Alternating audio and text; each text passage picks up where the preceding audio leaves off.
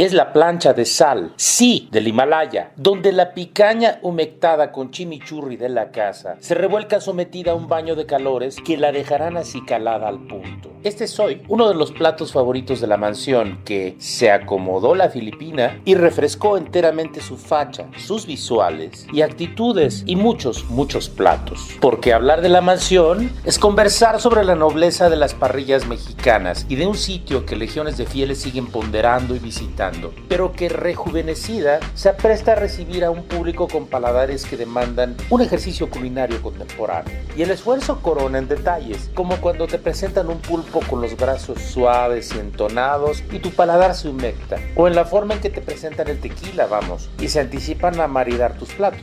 ¿Es una mansión renovada? No. Es una mansión que asume la jerarquía que le corresponde y devela otros rostros en los que sus clásicos, como los deliciosos taquitos de tuétano, sus exquisitos y tronantes machitos, esos que se sientan en la mesa y te urge acurrucarlos en una mullida frazada fabricada en maíz y regarlos con salsas muy cucas o esas ensaladas preparadas en la mesa, como la clásica César que hoy muestra toques mucho más golosos, conviven con una actitud de respeto que se siente cuando cuando entregan las tortillas de maíz de colores y luego cuidan sus temperaturas en la mesa con adminículos especiales. Les sugiero ordenar una sopita de tortilla de sabores bien templados y rústicos.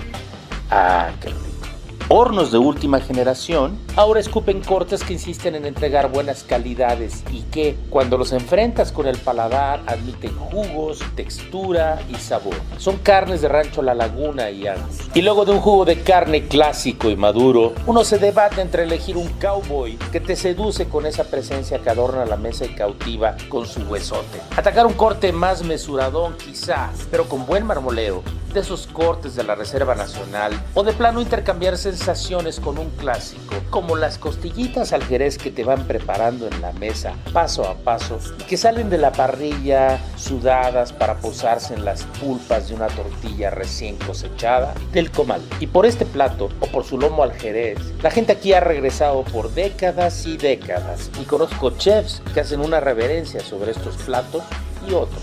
Y si hablas de postres, acércate a la charola que nos coquetearon varios, como este de higos que no es nada recatado, el flan que suspira caramelo o algún otro más chocolatoso. Y desde luego, concluye la experiencia con un café irlandés preparado en tu mesa que requiere del montaje de un show bien definido en ritos y sabores que te dejarán la pancita bien relajadita.